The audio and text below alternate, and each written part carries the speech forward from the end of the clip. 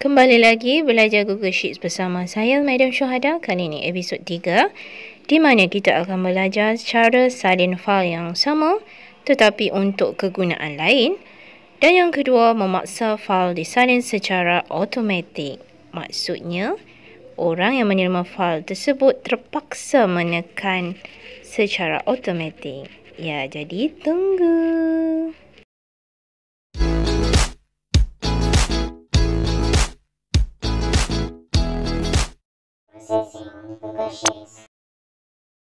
Assalamualaikum. Kembali lagi kita di dalam belajar Google Sheets. Baiklah, untuk hari ini saya nak sediakan tutorial bagaimana untuk make a copy dan juga force a copy. Apa dia benda tu? Kena tunggu sampai habis. Baiklah, kita bermula dengan file dan di sini kita ada make a copy.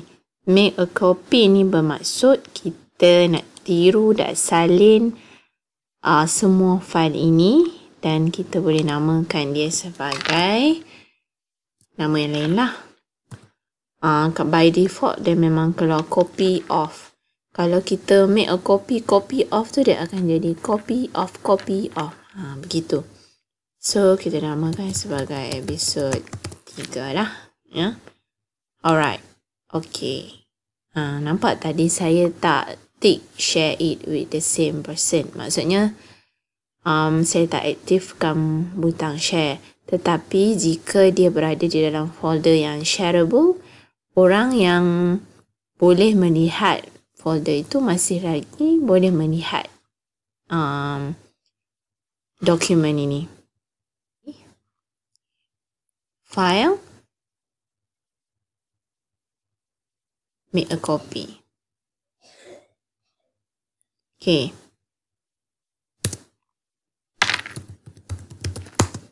Set. Okay, kali ni episode 2. Okay, ni nak share it with the same person, people, ataupun copy comment. Kalau kita nak include resolve comment pun boleh.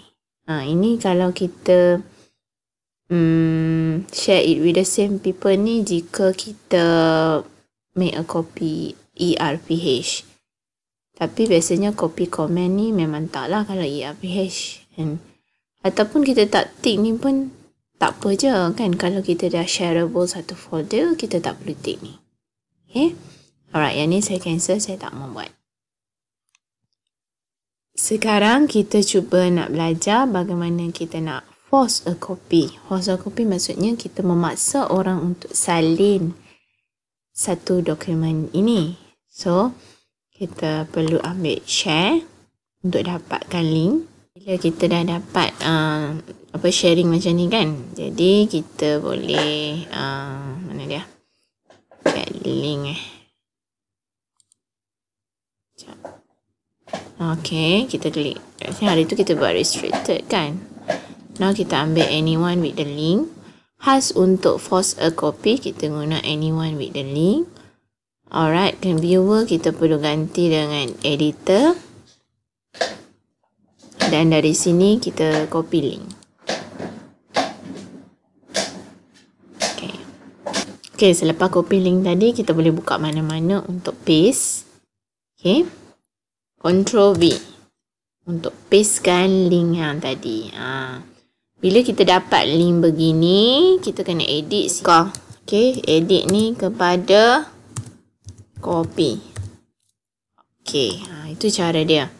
Kita kena padam yang sini sampai slash edit tu dan gantikan dengan perkataan copy. Kemudian kita boleh cuba ya. Uh, copy yang ni pula. Copy and then kita masuk di mana-mana.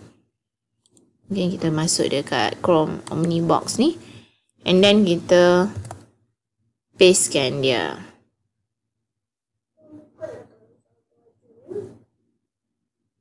Okay. And then, enter.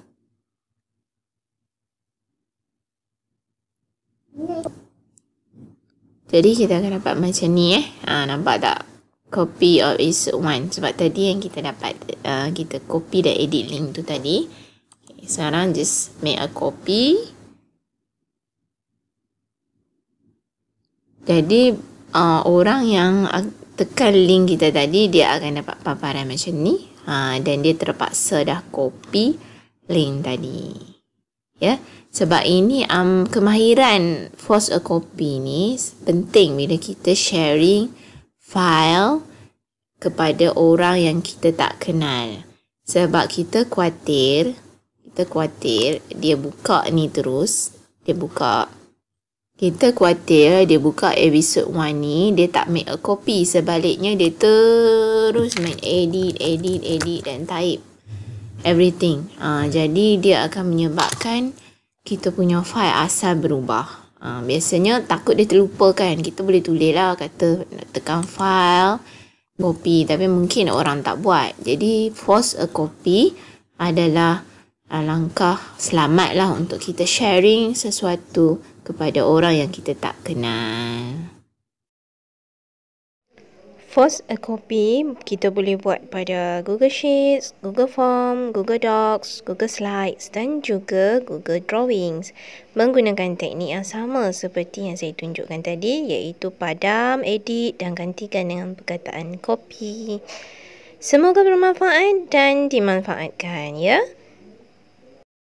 Sekian saja belajar Google Sheets bersama saya, Madam Syuhada. Tekanlah butang subscribe dan loceng untuk menerima lebih banyak video lagi. Bye-bye.